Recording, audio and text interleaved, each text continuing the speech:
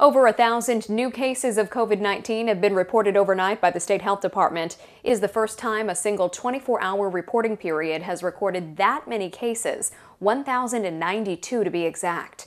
Five new deaths were also reported, bringing the state's total since March 11th to 24,516 cases and 1,016 deaths.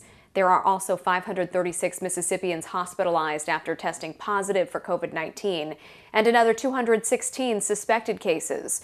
More than 17,000 people have recovered.